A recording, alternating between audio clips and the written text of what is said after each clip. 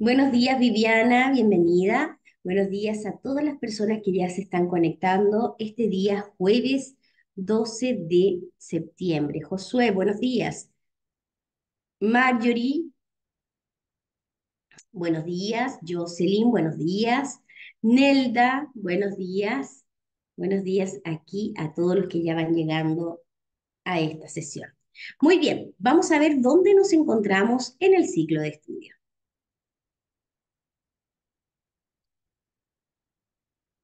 Les recuerdo a todos y a todas que nosotros todos los días estudiamos un capítulo del libro para la conducción en Chile.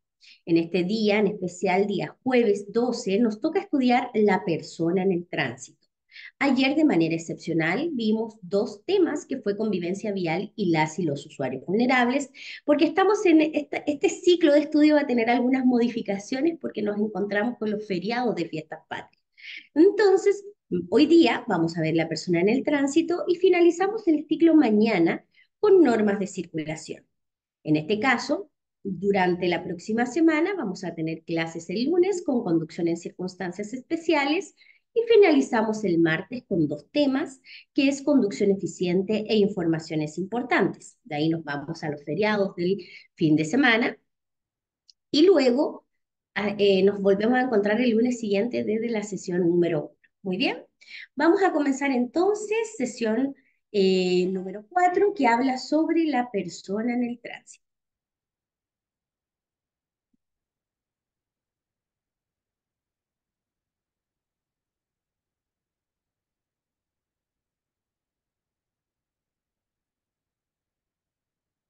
Un minuto, por favor. Aquí está, bueno, el test teórico hace un ratito.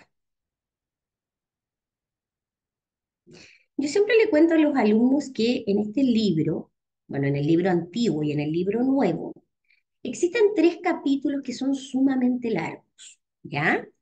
Y que esos tres capítulos, yo siempre les recomiendo que traten de hacer hartos test de ese capítulo. ¿Cuáles son esos capítulos que son súper largos y que tienen mucha información? Primero, es el capítulo de principios de la conducción. Luego, la persona en el tránsito que vamos a ver el día de hoy. Y mañana, que vamos a ver el tema de normas de circulación, también es un capítulo bastante largo. Por lo tanto, cuando los capítulos son tan extensos, nosotros, yo voy resumiendo el tema para poder centrarme en lo más importante del capítulo. En este caso, lo más importante de este capítulo en particular tiene que ver con alcohol y drogas en la conducción, ya que ese tema en su examen vale doble puntaje. Muy bien, así que nos vamos a centrar principalmente en aquello. Nosotros estudiamos todos los días desde nuestra plataforma oficial que es practicates.cl. Nos vamos a la sección de temarios. De aquí nos vamos a ir donde dice temario B y aquí están todos los temas, en este caso, del libro para la conducción en Chile. Y aquí nos vamos a ir al tema que nos compete hoy día, que son las, y, no, perdón, la persona en el tránsito. Perfecto, vamos a ver. La persona en el tránsito, en esta unidad que vamos a aprender, Vamos a centrarnos en la figura del conductor del vehículo al que la licencia B habilita a manejar. Vamos a tratar aquellos factores que inciden negativamente en las capacidades del conductor, ya que multas y sanciones se enfrentan por la comisión de delitos al volante. Por último, identificaremos los efectos que, entre otros, tiene la fatiga, somnolencia, estrés o el alcohol en el organismo del conductor. Se dice que la conducción de un vehículo implica grandes exigencias ¿Por qué ocurren los siniestros? Comúnmente al conducir, las personas olvidan las limitaciones y capacidades humanas, aunque pueda sonar exagerado. Por esta razón, es muy importante que usted esté consciente del actuar de las personas desde el inicio, desde el inicio, perdón, de su formación como conductor. Para ello, los conocimientos que se entregan aquí son fundamentales. Según las estadísticas, se señalan que los conductores principiantes tienen 10 veces más siniestros que los experimentados. Al menos una vez en su vida, las personas se ven involucradas en algún siniestro con víctimas. Estos son solo estadísticas, no significa que a todos les vaya a pasar, ¿verdad? Aquí tenemos un ejercicio que es el acompañamiento de un conductor en su viaje, que usted va a poder eh, visualizar y guiarse a través de ellos para poder eh, realizarlo en otro momento de estudio personal para que nosotros nos vamos a lo más importante. En este caso, vamos a hablar de la capacidad visual. Ver correctamente en diversas situaciones al conducir es muy complejo, de noche con lluvia, de día con sol de frente, hasta factores que parecen simples como los vidrios limpios influyen en la capacidad visual. La adaptación del ojo a los cambios. La vista humana requiere de un determinado tiempo para adaptarse a los cambios bruscos de luminosidad o ausencia de ella. ¿Qué es la ceguera real temporal? Se produce al mirar directamente por un tiempo prolongado los focos de los vehículos. En este caso, creo que todos ustedes han sido copilotos, acompañantes o han mirado de frente los focos de los vehículos y claramente que uno se escandila y de alguna forma cierra los ojos. Ese momento quedas con una capacidad visual del el 0% y a eso se le llama, se le llama, perdón, ceguera real temporal. Conducir en un túnel puede, puede ser muy complejo al salir de este, pues el ojo requiere de un tiempo antes de ver con máxima nitidez. Personal o animales en la vía. En ocasiones puede ser muy difícil visualizar nítidamente a personas o animales en la vía debido a las condiciones de visibilidad y especialmente al tiempo que requiere el ojo para adaptarse a los cambios bruscos. Conviene saber que un abrigo oscuro refleja solamente el 5% de la luz la ropa blanca un 80% y los materiales reflectantes entre un 90 y un 98% de la luz. ¿Qué es la percepción selectiva? Willain, hola profe, buenos días, deseame suerte mañana, tengo el examen en la municipalidad. Que te vaya increíble, Willain. que te vaya súper bien. La percepción selectiva dice el cerebro selecciona estímulos o información al conducir, debido a la gran cantidad de estímulos a los cuales se expone un conductor. La selección e interpretación de ellos no es casual, sino que se determina por el estado de vigilancia, necesidades y expectativas. ¿Qué quiere decir esto? Eh, por ejemplo, tenemos que saber primero que la percepción selectiva es una capacidad del cerebro, no es de los ojos. Entonces es una capacidad del cerebro donde el cerebro, en este caso, selecciona todo aquello que yo necesito ver para conducir. Por ejemplo, yo voy conduciendo, miro hacia adelante, adelante hay un cruce, al costado va un vehículo, al otro costado hay una vereda, más adelante me voy a encontrar con un semáforo. Todo aquello que yo estoy viendo para mi conducción es lo que selecciona el cerebro para yo conducir de una manera segura. Si yo no tuviera la percepción selectiva, ¿qué pasaría? Estaría mirando cualquier cosa. Entonces estaría, no sé, mirando los pajaritos que van cruzando el cielo, estaría mirando para el otro lado un nuevo edificio, estaría mirando otras cosas que no tienen nada que ver con la conducción. Entonces, la concentración y la percepción selectiva, ¿quién la brinda? Principalmente el cerebro. ¿Ok? Ahí tenemos otros ejercicios que se los voy a dejar para que ustedes los puedan realizar en un momento de estudio personal. ¿ok? Vámonos a la visión directa y visión periférica. La visión periférica junto con la visión directa se complementan en un efecto de compenetración, es decir, se descubren cosas con la visión periférica y se reconocen con la visión directa. La visión periférica entrega al menos un campo visual de 180 grados. Los conductores experimentados utilizan mucho más su visión periférica que los inexpertos. ¿Qué quiere decir? La visión directa principalmente es cuando nosotros conducimos hacia adelante, ¿ok? Y miramos todo lo que pasa adelante. Generalmente cuando uno recién está empezando a conducir, cuando estás aprendiendo a conducir, uno se centra mucho más en la visión directa que en la periférica, ¿ok? Entonces, la periférica nos entrega un campo visual de 180 grados, lo que me permite ver un poco más lo que pasa a mi alrededor. Por ejemplo, si yo voy conduciendo y veo que por este costado, a este lado, hay una persona que está a punto de atravesar la calle, claramente que tengo que tener una visión más periférica para poder percibirlo, ¿verdad? Entonces la visión periférica te entrega un campo visual de 180 grados. Estos dos tipos de visión deben tener un efecto de compenetración. Muy bien, en este caso Claramente, a, medida que uno va tomando experiencia, esto se va, por supuesto, entrenando bastante más. ¿Qué es el efecto visión de túnel?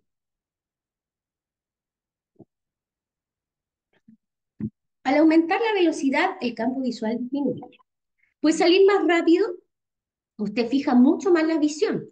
Es decir, comienza a privilegiar la visión directa en desmedro de la visión periférica. La visión de túnel también aparece en situaciones de estrés. En este caso, el, efecto visión de túnel tiene eh, relación directa con la velocidad. Entonces, a mayor velocidad, menor es el campo visual. Si yo viajo a 130 kilómetros por hora, el campo visual es de 30 grados, como indica la letra A. Si viajo a 100, a 100 kilómetros por hora, el campo visual es de 42 grados, como indica la letra B. Si voy a 65 kilómetros por hora, como indica la letra C, el campo visual se amplía a 70 grados. Y si usted va a una velocidad muy baja, que son 35 kilómetros por hora, el campo visual se amplía a 100 grados, como vemos en la letra D.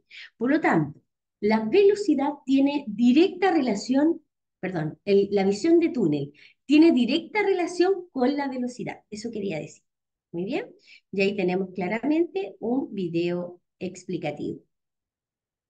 Helen, Profe, hoy presenté mi examen teórico y saqué 38 de 38. Gracias por todo el aprendizaje. Felicitaciones, Helen, de parte de todo el equipo de Práctica Test, por supuesto, muchas, muchas felicitaciones.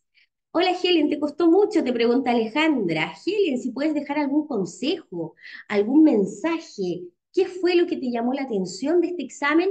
Sería súper bueno que lo pudieras escribir para que los demás también puedan saber un poquito más de este examen, ¿ok? Así que te lo agradecería mucho. Vámonos ahora a la conducción segura requiere equilibrio emocional. Y aquí nos vamos a devolver un poquito a lo que hablamos en el capítulo número uno, porque aquí aparece la palabra madurez. Y cuando nosotros en el capítulo número uno hablamos de que los jóvenes entre 18 y 29 años son las personas que más siniestros provocan y que más fallecen, tiene que ver principalmente con el factor de la madurez. ¿Por qué es necesario haber cumplido 18 años o excepcionalmente 17 para poder optar a una licencia de conducir? Porque la sociedad considera que a esa edad las personas conductoras están capacitadas para asumir responsabilidades tan grandes como conducir, tomando en cuenta que en muchos casos la falta de responsabilidad puede llevar a siniestros fatales. Tristemente la realidad, avalada por los datos, demuestra que los conductores jóvenes son quienes más siniestros provocan. ¿Cuáles son los principales factores que explican la alta siniestrabilidad en los conductores jóvenes? Helen les comenta a todos ustedes que estuvo muy similar a los exámenes de práctica test, así que a seguir haciendo harto test las demás personas, por supuesto. Los principales factores que explican la alta siniestralidad en conductores jóvenes, primero, excesiva necesidad de autoafirmación. Creen que no obedecer las señales del tránsito los puede hacer incluso más, como se dice, más bacanes, ¿verdad? Capacidad de conducción sobrevalorada. Creen que nunca les va a pasar nada, entonces no ocupan muchas medidas de seguridad. Comportamiento exhibicionista en el grupo. Generan maniobras de riesgo que no son necesarias. Asumir mucho riesgo al conducir pueden ser que compitan muchas veces con otros vehículos. Influencia de la publicidad puntualmente la que fomenta riesgos. ¿Cuáles son los cinco factores que influyen en la evaluación y aceptación del peligro? Primero, la actitud frente al tránsito. No consideran la conducción como algo peligroso. Creen que nunca les va a pasar nada. ¿okay? Atribuciones sobre el comportamiento. Creen que conducen mejor que los demás. Claramente, los conductores jóvenes tienen muchas más habilidades y su capacidad de reacción es mucho más rápida, pero falta experiencia también. Experiencia en la conducción. Muchos no tienen demasiada experiencia. Nivel de control. Creen que pueden controlar perfectamente un vehículo. Baja percepción del riesgo. Muchas situaciones como ingerir alcohol y conducir no las consideran peligrosas.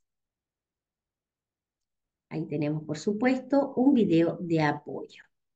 Vámonos al tema más importante de este capítulo que tiene que ver principalmente con el alcohol y las drogas en la conducción.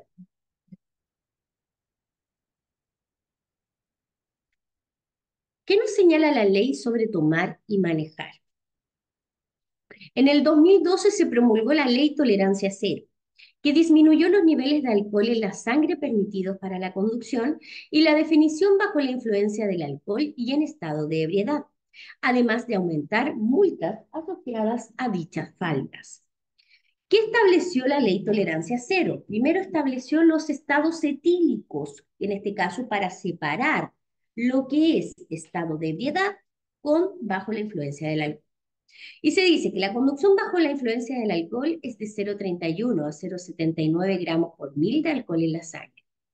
La conducción en estado de ebriedad es de 0,8 más gramos por mil de alcohol en la sangre. Estos números hay que aprendérselos, ya de seguro son preguntas de examen. La conducción bajo la influencia del alcohol es sancionada con multas y suspensión de licencia de conductor. La conducción en estado de ebriedad o bajo la influencia de sustancias estupefacientes o psicotrópicas, se sanciona con multas, cancelación de licencia y presidio. Muy bien. Por lo tanto, en este caso, eh, aquí aparece la palabra presidio, aparece la palabra cárcel. Muy bien. Y la cárcel solamente va a ser efectiva en estado de ebriedad, no bajo la influencia del alcohol. Las sanciones aumentan en caso de reincidencia o si el conductor, además de haber bebido, participa en un siniestro que resulte en daños o personas fallecidas o con lesiones. La ley tolerancia cero. ¿Qué dice la ley? La ley tolerancia cero dice lo siguiente. Que de 0,31 a 0,79 se conduce bajo la influencia del alcohol. Si usted genera un siniestro sin daño ni lesiones y es su primera vez, se suspende la licencia por tres meses. Si usted causa un siniestro con lesiones gravísimas o la muerte y es su primera vez, se suspende la licencia de tres a cinco años. En caso que la persona vaya en estado de ebriedad, que es de 0,8 hacia arriba, y causa un siniestro sin daño ni lesiones y es su primera vez, se suspende la licencia por dos años. Pero si es su segunda vez, se suspende por cinco años. Pero si ya es su tercera vez, se cancela la licencia. Y la cancelación tiene que ver con 12 años, ¿ok? ¿Y quién puede revocar esta medida según la conducta que tenga el conductor durante estos 12 años? La puede revocar solamente un juez.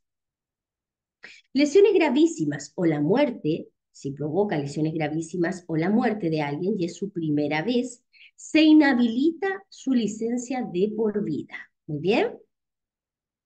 Jacqueline me dice, profesora, ¿se pueden hacer los test de aprendizaje? ¿Y puedo hacer el otro test o el de prueba o ese solo se hace cuando ya domino bien el tema? Tengo esa duda. Eh, Jacqueline, a ver, la pregunta tiene que ver con otro tema, pero te lo voy a contestar rapidito. Eh, te cuento que si usted está empezando a hacer los test, comience a hacer test por tema. Por tema. Trate de llegar por lo menos a cada capítulo, por lo menos al 90% en cada tema. Después de eso, vayas a los test inteligentes. Test difíciles y test fáciles, ¿ok? Pero parta haciendo los test por tema, ¿ok? Jocelyn, profe, disculpe la pregunta, ¿cuál es la diferencia entre las dos? Entre la bajo la influencia y el estado de ebriedad la, diferencia claramente, Jocelyn, tiene que ver con la cantidad de alcohol consumido. Ya una persona que está bajo la influencia del alcohol tiene 0,31 a 0,79 gramos de alcohol por litro de sangre. Y, la, y en estado de ebriedad es de 0,8 hacia arriba. Por lo tanto, la principal diferencia entre estos dos estados etílicos es la cantidad de alcohol consumida. Muy bien, o la alcoholemia en este caso. ¿Ok? Esa es la principal diferencia. Vámonos a la ley Emilia. Cuando hablamos de la ley Emilia, bueno, lo primero que vimos cuando se estableció, en este caso, los estados etílicos, eso se llama ley tolerancia cero. Ahora vamos a hablar sobre la pena de cárcel. ¿quién establece la pena de cárcel? La pena de cárcel la establece la famosa ley Emilia, ¿ok? La ley Emilia, en este caso, estableció como delito lo siguiente. Lesionar gravemente o provocar la muerte de una persona. Negarse a realizar el alcotés o la alcoholemia y fugarse del lugar del accidente. En este caso, la persona, yo no sé si ustedes se acuerdan el caso de Emilia, incluso existe una fundación Emilia, que es una familia, en este caso, que iba con Emilia, que era su bebé de nueve meses, que iba en un sistema de retención infantil, y un conductor en estado de ebriedad chocó a esta familia. Em, ahí Emilia falleció, ¿ya? Y este conductor realizó estas tres acciones. provocó la muerte de Emilia, Emilia, perdón, se negó a realizar el alcotés y se fugó del lugar del accidente. En este caso, las lesiones, si una persona, en, ahora la ley Emilia solamente actúa en estado de ebriedad, no actúa bajo la influencia del alcohol, lo que quiere decir que una persona puede matar a alguien bajo la influencia del alcohol y solamente se le va a inhabilitar la licencia de por vida, pero no va a tener pena de cárcel. Si una persona en estado de ebriedad mata a una persona en estado de ebriedad, se le inhabilita la licencia de por vida porque actúa la ley tolerancia cero y también comienza a actuar la otra ley, que es la ley Emilia, y se establece pena de cárcel. Solamente la ley Emilia actúa en estado de ebriedad. Atención con esa diferencia.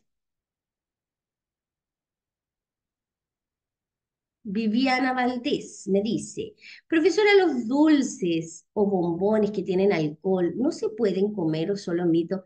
Por eso la, la, la, influencia del alcohol, Viviana, tiene un cierto rango. No sé si te das cuenta que es de 0,31 a 0,79. Hay, un, hay uno de 0,0 a 0,31, que hay un pequeño rango de grado alcohólico que podría tener una persona que es muy bajito tiene que ver principalmente con los, por los alimentos. ¿ok? por eso se dejó ese rango de 0 a 0,31. Ahora, si la comida ya tiene mucho alcohol y está más allá de 0,31, claramente que la persona se va a ver afectada. ¿Ok? Eh, ya. Entonces, si una persona en estado de ebriedad causa lesiones gravísimas a otra persona, provoca lesiones gravísimas, la cárcel efectiva va a ser de al menos un año, ¿ya? Entonces se realice la, la, investigación.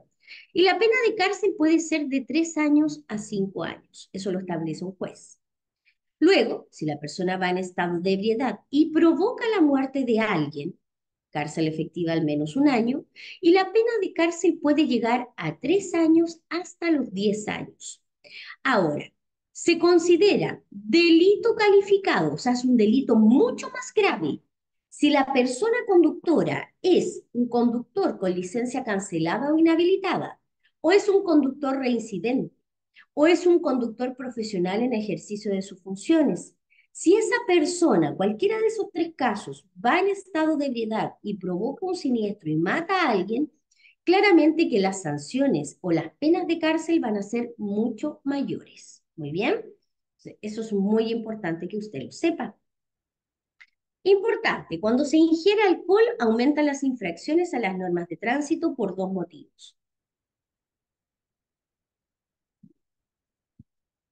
Porque las capacidades se ven deterioradas o disminuidas, porque se tiene menor sentido de la responsabilidad y la prudencia.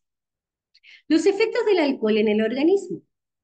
Recuerde siempre que el principal afectado es el cerebro Afecta su atención, procesamiento de la información y la percepción.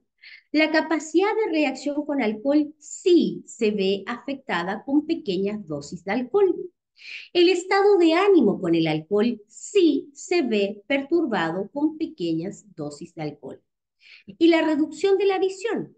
Cuando una persona bebe puede no notar una reducción en la visión directa, pero lo que se reduce significativamente es la visión periférica, que es aquella que uno tiene, tiene una visual en 180 grados. La única tasa de alcohol segura para conducir es cero. Por eso si va a conducir, evite el consumo de alcohol y si finalmente bebe, no conduzca, busque otra alternativa para transportarse. ¿Cómo varía la tasa de alcohol en la sangre? La alcoholemia consiste en una muestra de sangre para conocer la tasa de alcohol de la persona que ha bebido. La prueba espirométrica es la prueba que se sopla, que eh, la utiliza principalmente Carabineros de Chile. Los factores de variación de alcohol en la sangre, por supuesto que varía, ya por la cantidad de alcohol consumida. No es lo mismo tomarse una cerveza que tomarse seis, ¿verdad? La masa corporal se dice que a menor peso, la tasa mayor es la tasa de alcohol en la sangre. El sexo, con la misma cantidad de alcohol ingerida y el mismo peso, es probable que las mujeres tengan mayor tasa de alcoholemia que los hombres. ¿Por qué? Porque nuestro metabolismo es distinto, ¿ok? Y la duración de la ingesta se dice que al beber en poco tiempo la tasa de alcoholemia va a ser superior, como muestra el gráfico que vamos a ver ahora. La curva de la alcoholemia. Viviana dice, ojalá que la próxima feriado largo, semana, se hable de buenas noticias y no de conductores, y los conductores tomen conciencia. Claramente que sí, pues Viviana. Ojalá tengamos noticias más favorables después de este tremendo fin de semana, que es un fin de semana XL, ¿ya? Así que eh, claramente hay que tomar conciencia, ¿verdad? Así que, y si va a beber, quédese en la casa, no salga, claramente, ¿verdad? Perfecto. Acá tenemos la curva del alcohol. Tenemos los gramos o litros de alcohol consumido y luego abajo tenemos las horas de alcohol, cuánto consumió la persona. ¿Ya? En este caso, tenemos un periodo de ingestión de alcohol por tres horas. Bien, el periodo de ingestión en este caso, la persona consumió mucho alcohol por durante tres horas. Fíjese cómo subió la, eh, la, la curva y llegó a una meseta. Ya llegó a una meseta arriba, que es el máximo de alcohol consumido.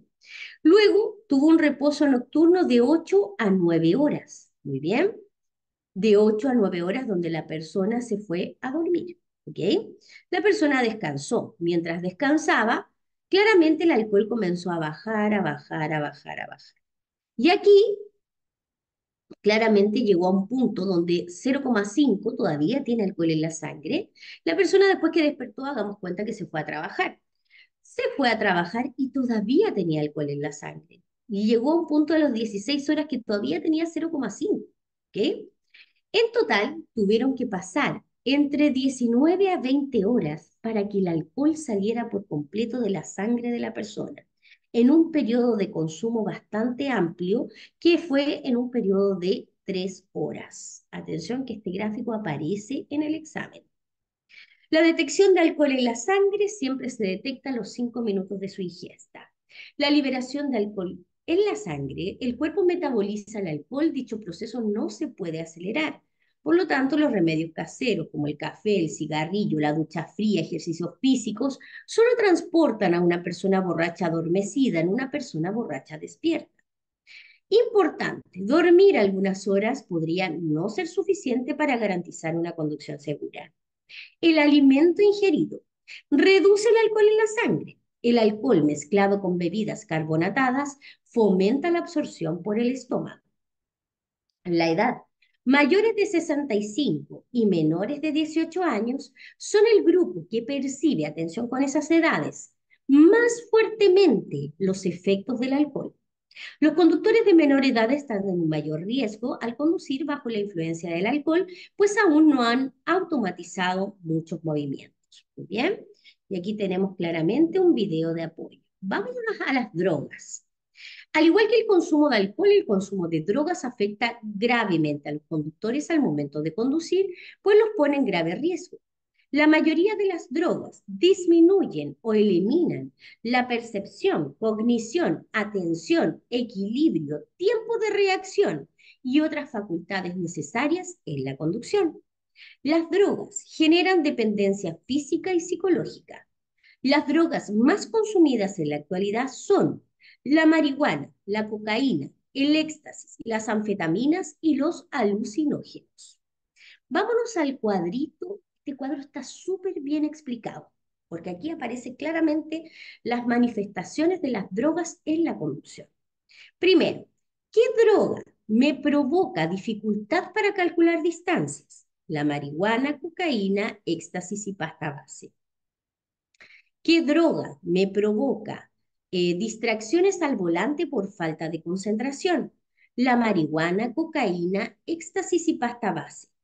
Aumento en el tiempo de reacción. ¿Quién lo provoca? La marihuana. Pánico durante la conducción. ¿Quién la provoca? El éxtasis. Alteración de la percepción del entorno. ¿Quién lo provoca? La marihuana, cocaína, éxtasis y pasta base. Comportamiento más competitivo o agresivo con los demás conductores. ¿Quién lo provoca? La cocaína, el éxtasis y la pasta base. Impulsividad para enfrentar imprevistos. ¿Quién lo provoca? La cocaína, el éxtasis y la pasta base. Eh, ¿Qué pasa con las personas que toman medicamentos de hacer, al momento de hacer el test ILDA? Existen algunos medicamentos que son prescritos por el, por el médico, ya para ciertas situaciones, que muchos consideran como eh, quizás un tipo de droga, ¿ya? Bajo esos efectos no se puede conducir. Es más, cuando usted va a tomar un medicamento para un tratamiento, ya sea psiquiátrico o de otra índole, en ese caso, que los, medicamentos psiquiátricos son súper fuertes porque adormecen a las personas, etcétera, etcétera, etcétera, y producen muchos efectos. ¿Ok? Es un ejemplo. En ese caso, claramente el médico no te va a autorizar a conducir. ¿Ok? Cuando hay medicamentos que son complejos para la conducción, el médico te dice que no debes conducir. En este caso, si no estás autorizado a conducir porque consumes este tipo de medicamentos que son tan fuertes para tu salud, claramente si te pillan conduciendo con estos efectos, claramente que se te va a sancionar como que si has consumido alguna droga. Y tienen todo el derecho a sancionarte porque el médico no lo autoriza. Y hay medicamentos que no están autorizados para la conducción. ¿Ok? Entonces, Jocelyn me pregunta, profe, para las personas que están bajo los efectos de los medicamentos constantemente o que dependan de ellas más adelante, ¿esas personas no podrán tener licencia de conducir? Mira, no, no, a ver, cuando hay personas que son dependientes de algún medicamento que afecta la conducción, efectivamente no puedes conducir mientras dure tu tratamiento. Si después de ese tratamiento tú te mejoras, puedes y tienes licencia, claramente que puedes seguir conduciendo. Pero si no se ven avances en tu salud, claramente que no puedes volver a conducir, yo sé. ¿Ya? No puedes conducir. Hay medicamentos que son considerados drogas, que son bastante complejos para la salud de las personas también. Y, bueno, sanan algo, sanan por ejemplo, las personas también que tienen cáncer ya personas que tienen un cáncer avanzado, claramente con una quimioterapia, que con este tipo de tratamiento tan invasivo, claramente que también se restringe la conducción, ¿ya? Eso pasa, Jocelyn. Ahora, si una persona es dependiente de un medicamento de esta índole y va a sacar su primera licencia, claramente, si lo declara y va a declarar y le van a preguntar, claramente que no va a poder conducir, no va a poder sacar su primera licencia, ¿ya? Hasta que deje de ser dependiente de ese medicamento. ¿Bien? Vámonos a las enfermedades que afectan la conducción, justo de lo que estamos hablando. Las enfermedades que afectan la conducción se seleccionan entre grupos. Enfermedades cardíacas, respiratorias y neurológicas o trastornos mentales. Por ejemplo, la hipertensión arterial, la arritmia, la angina de pecho, el infarto, la insuficiencia cardíaca. Estas enfermedades claramente cuando están controladas, el médico te autoriza a conducir. Pero si estás con un problema de hipertensión descontrolado, no puedes conducir. Las enfermedades respiratorias como la rinitis alérgica, la gripe, el resfriado común, el asma bronquial, bronquitis crónica, apnea obstructiva del sueño. Usted me dirá, bueno, con una gripe normal no puedo conducir.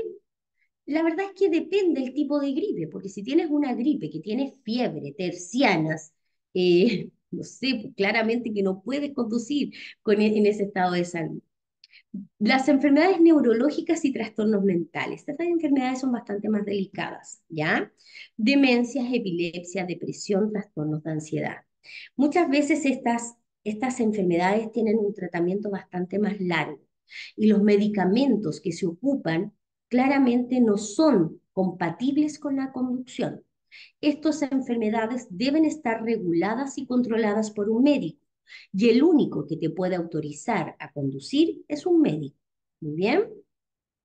¿Cómo disminuyo? Me cayó algo.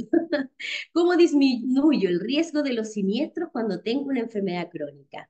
Primero, tengo que conocer muy bien la enfermedad, conocer muy claro los efectos de los medicamentos de, en su tratamiento, reconocer los síntomas de una crisis cuando me debo detener, no conducir durante una crisis o fase compleja y debo seguir todas las instrucciones médicas. No beber alcohol mientras se toma medicamentos. Por último, vamos a hablar del cansancio, sueño y fatiga. Recuerden que el cansancio, sueño y fatiga son estados habituales de la vida cotidiana. Todas las personas lo, hemos tenido, a todos los seres humanos nos pasa. Sin embargo, cuando se trata de conducir un vehículo, la mayoría desconoce los altos riesgos y la peligrosidad de manejar en alguno de estos estados. Colisiones por alcance, salidas de la vía, colisiones frontales, son las consecuencias más comunes de conducir con cansancio, sueño o fatiga. ¿Qué pasa cuando usted conduce cansado o con sueño? Entre el 15 y el 30% de los siniestros de tránsito están asociados al cansancio y sueño de los conductores, incluyendo muchos con consecuencias graves. Los siniestros no ocurren solo porque un conductor se quede totalmente dormido, sino que solo es necesario pestañear con mucho cansancio para estar en riesgo de un grave siniestro. Acá dice claramente que entre el, atención con ese porcentaje que es pregunta de examen. Los efectos del cansancio y el sueño en la conducción, claramente que disminuye la capacidad de reacción, mayor cantidad de distracciones al volante, estás poco concentrado, alteración del juicio y la toma de decisiones, claramente que con el cansancio la gente se demora en tomar decisiones, alteración de la movilidad y empeoramiento de la coordinación motriz que afecta en este caso la conducción, aparición de microsueños, estos pestañazos de dormir y despertar rápidamente, alteración de la percepción, la visión se puede tornar borrosa, cambios en el comportamiento, una persona con sueño cansada se vuelve hostil, se vuelve quizás un poco más agresiva.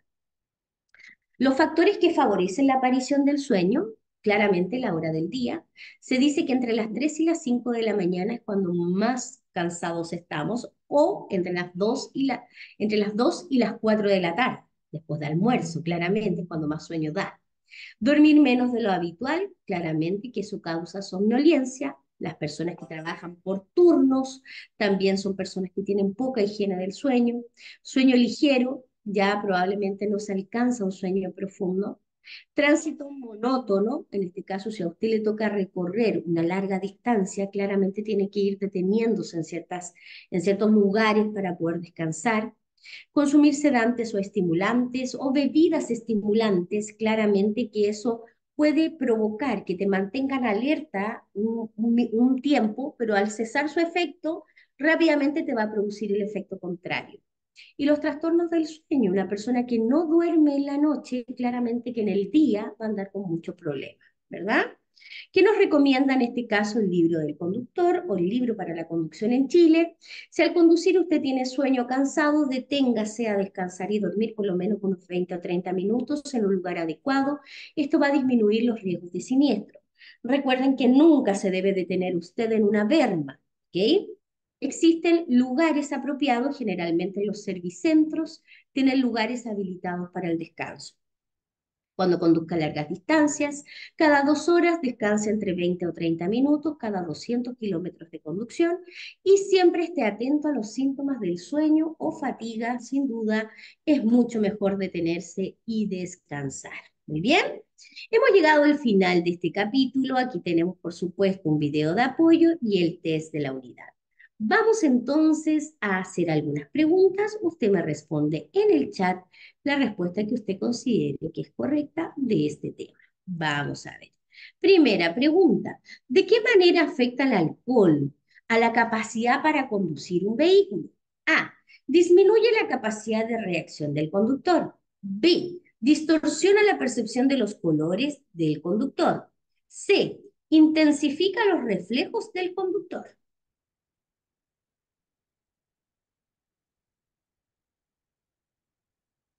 Claramente que es la letra A, ¿verdad? Y eso es correcto.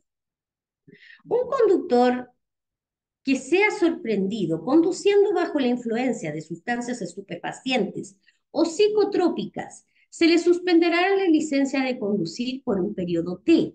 Atención, en este caso estamos hablando de drogas o aquellos medicamentos considerados como drogas. A, cuatro años. B, cinco años. C, tres años de dos años.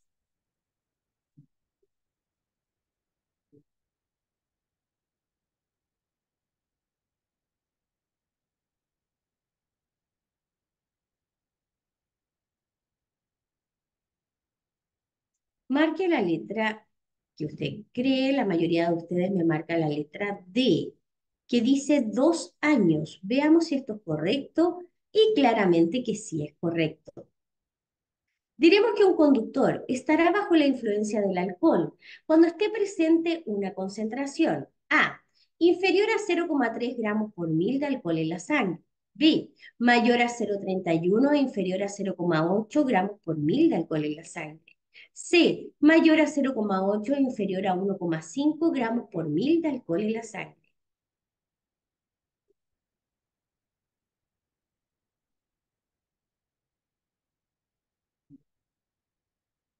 Usted me dice que es la letra B, y eso es correcto. Normalmente se tiene un campo visual de tanto con la visión periférica. A, 100 grados. B, 360 grados. C, 180 grados.